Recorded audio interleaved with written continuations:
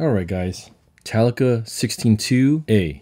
This is a new release for 2023 and currently they only have it for the 12 and 16 size. So let's do an unboxing on this and take a look at it. A couple of new things on this reel that's different from the previous years, which are new frame body that makes it a little bit lighter and dual disc drags. In the bag, we're gonna see the traditional tools, including the clamps, now, in the first generation, they gave two lengths of the screws, short and long. Right now, they're saying that the longer is going to be an optional item. An additional thing that's included is the drag cam. Kind of interesting that they do include one, but I think that's pretty cool. That's it for the tools here. Here's the reel, everything that you would expect out of Shimano in design.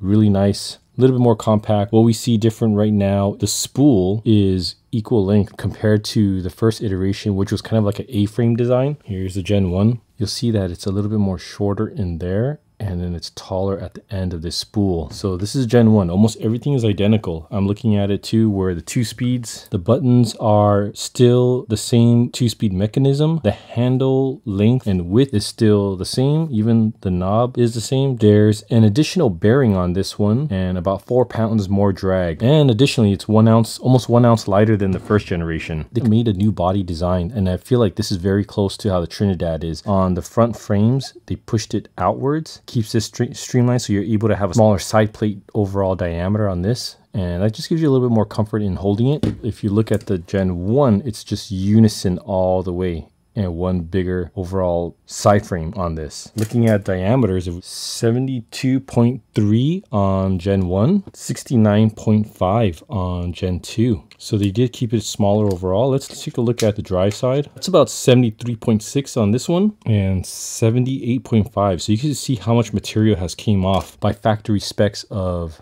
no line. You're about one ounce heavier on this. Looking at it overall, we see cutouts on the handle, a little bit more beveled edges along the two-speed housing, while this one is just more of a block frame. So they did shave off wherever they could. The lever, you do have the groove slots on push side and now on the free spool side. And one new thing about that spool as well, we now have a post that you're able to tie your braid onto. So you no longer need to have mono backing or all that tape that you would do with all your braid. So let's take a look at the inside of this. I have a few tools here. Torx 10, that would be for my main screws. The T8 sizes, and that will be for the handle. So let's start dissecting this. Shut off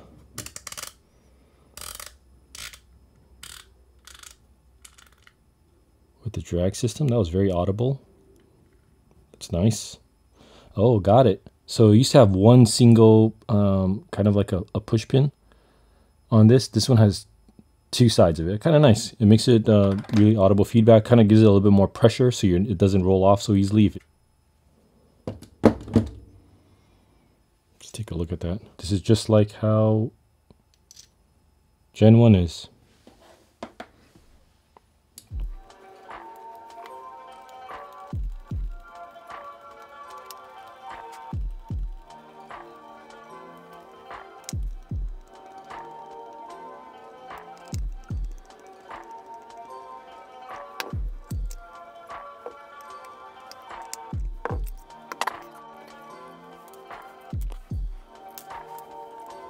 So off the bat, we're seeing a housing for our drag system. This is the plate and the disc. That's what we saw in Gen 1 as well. Diameter does look a little bit smaller already off the bat. I'm just going to go by based on what I recall. Gear side, this looks exactly how I would recall the Talica Gen 1 looks like. It has um, post covers for your dogs and it is dual dogs and both of them are in sync, which means that they both lock at the same time, while other brands we may have seen from other videos, they are alternating. So it looks very identical to the previous generation. Let's take it all apart here as well.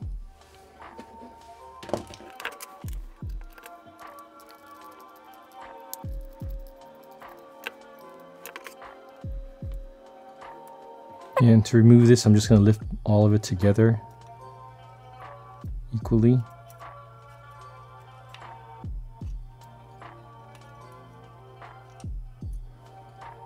Post came off with it, that's okay.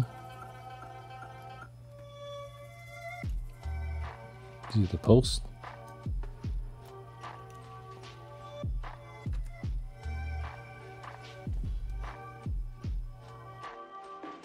This is a pinion gear. This should all come off. Pinion gear right here. So this is a T8.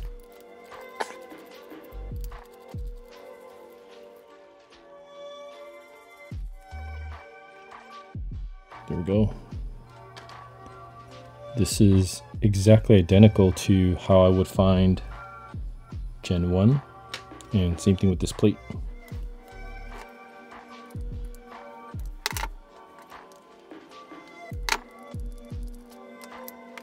So what we see here is the cover, uh, one bushing,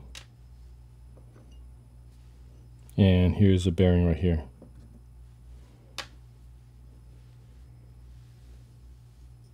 This is your main gear. This is your low gear. You guys see a noticeable difference already. The main and low gear in Gen 1 were equal millimeters width. And look at this one right now. 4 millimeter. 2.8. You lost like 1.2 millimeter in the process right here.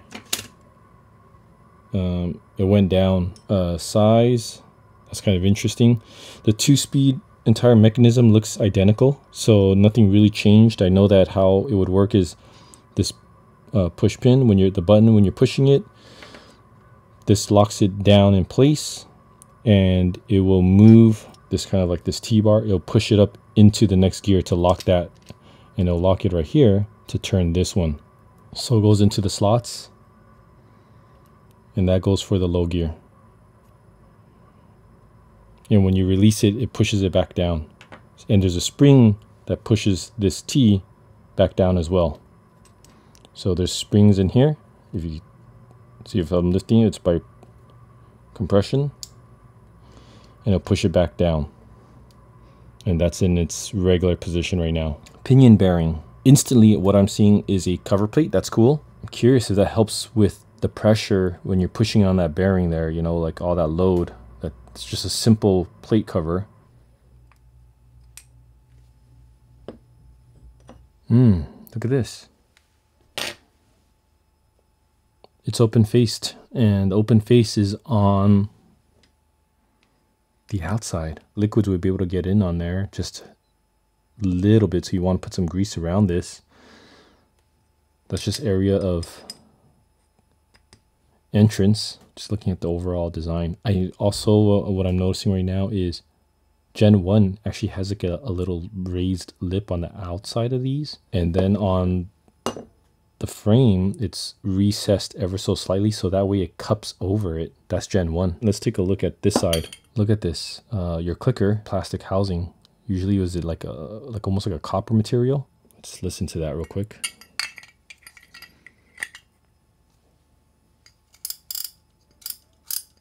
Still very audible, so no big deal. And those are easily replaceable parts. In Gen 1, uh, which I'm seeing here as well, these are my screws to attach the gear side onto it. And if you see, there's a slot right below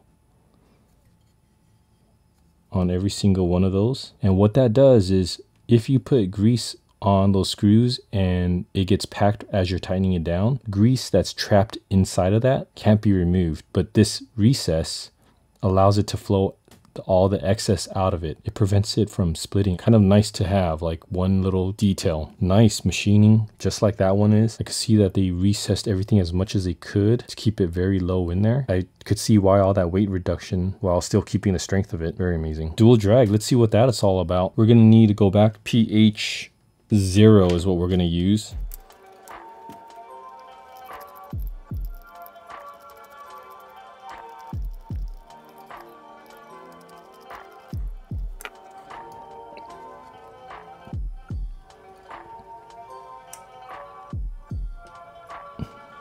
So here's one of the drag disc on this side and I see a bearing there and I'm seeing another bearing right under there as well. So I believe that's where the additional bearing comes from. One more bearing versus that one. Let's lift off this disc and I'm going to use 532.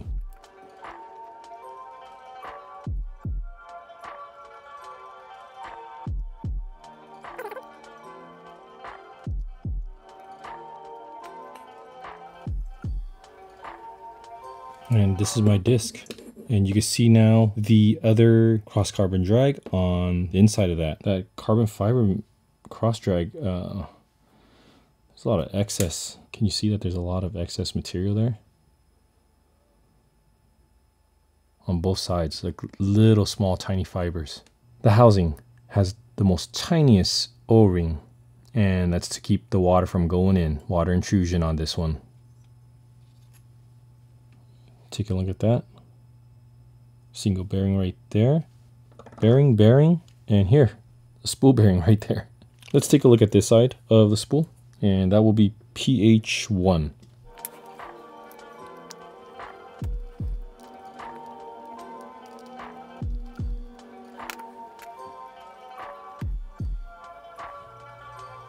housing cover. And here it is. One bearing still in there.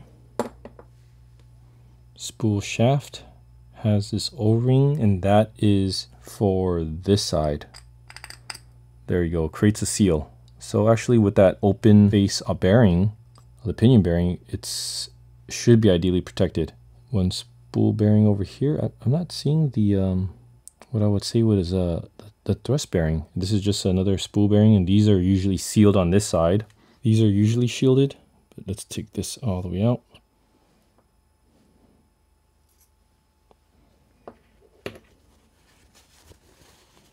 Oh yeah, it has a circlip there. Well, this one, I mean, man, if you, the real truth about this is because this is a spool bearing, it's not rolling at all. This should be open face, remove the grease, and just TSI oil um, when I tested it, spool wasn't great, and I could feel that. That's from this right now. Let's take a look at it. Let's see what it's packed with. So I just got myself a little hook. Circlip off. Yeah, it's all grease in there. Yeah, if we could take all that out, remove this with a solvent, we'll get way better free spool right now out of this. That'll be on the next on the list. Let's take a look here. We got everything almost taken apart, right? Let's take a look at this bearing. Uh, one shield. If you don't know, this is bearing bad. Ernie hooked it up with this. Okay, so this is the one that is um, fully shielded. I can't remove these. These are from Shimano and they're just, they are what they are. I'm to do a speed up of this one. So all right, so I got the drivetrain side of Talica 1 right here, seeing double dogs right here with the post covers on them. Take a look if they are both in sync. Now, same thing we're seeing is the helical cuts, very, very slight helical, not like a, a, a real hard angle. From right here, what I'm looking at, I'm seeing that the low gear is definitely equal to the main gear in the width. Not not this one right here. This is you can see it right now, right? That's versus look at this.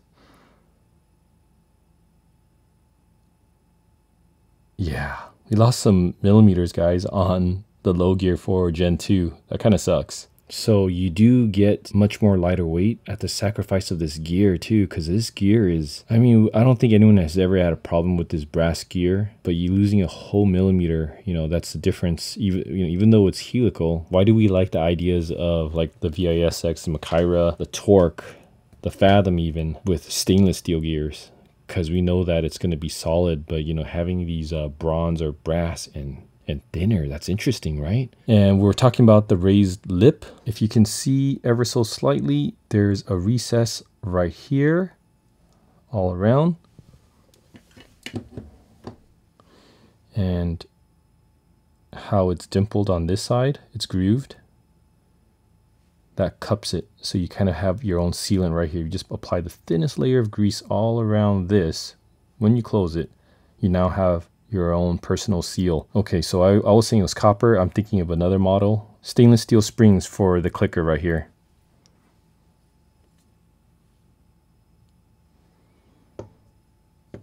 And when I was saying copper, let me see if I could find out. This would be a Penn Torque, and that's where we see copper. So Gen 2, Gen 1. Let me put it, here we go. No recess on this, it's just flat, which is, it doesn't hurt. I mean, all you do is just put a thin film on this as well. And when you close it up, you still got a good seal. But taking a look between the two, you can see the diameter already. Much bigger on this.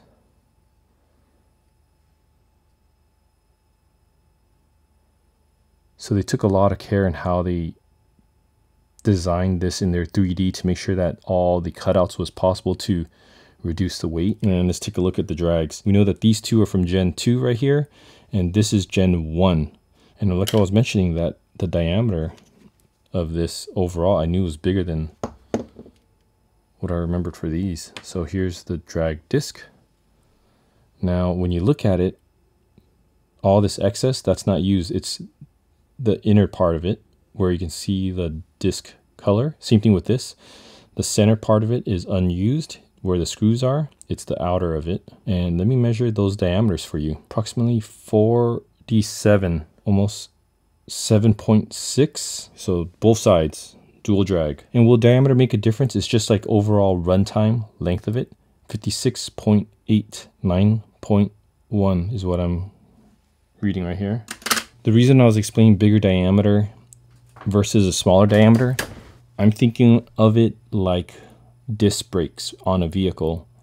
Now you can have really high quality brake pads on smaller rotors. It heats up overall a lot quicker. So longer duration runs, it's going to heat up when it's smaller, even though it has good stopping power. While bigger diameter, bigger surface, there's a lot more cooling. So you're able to do the same braking over longer periods of time without having it warp I'm not sure if you guys are familiar with that, but that's a good analysis of what I'm seeing here. It's Gen 1 versus Gen 2. We know that this was this Gen 1 was introduced in 2010. I think it was 2010. So we're talking about now solid 12 years that we had the Gen 1. We haven't had an update since. So we know that with this Gen 2, we're going to see this for the next 10 years easily even with this thin low gear and smaller drags, but you get dual of these. Man, I, I, I wouldn't know where to begin. I mean, obviously everyone always goes for new. New came with a little bit of shrinking everything down. We did have to reduce the weight, but at what expense? Um, is it a good expense? Because these guys are engineers. I, I'm not an engineer. I know that they put hundreds and hundreds of thousands of dollars to make sure that this was designed correctly, but I'm seeing this thinner low gear like what the heck, man? I like my stainless gears. Penn Torque right here. Stainless steel, you know. You know what? Still thicker than the low gear. This is its low gear for the Penn Torque. I'll give you a diameter right now just so you can see. 3.7. So we do compromise a bit. I'm about to put it all back together.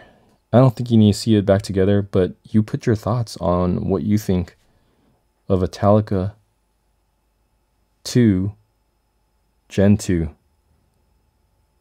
Got a whole bunch of reel parts now. So I filmed that part of the video back in January of this year and was so dumbfounded from that low gear, I ended up exchanging the TAC 16 for a TAC 12. Felt that I could fish it lighter.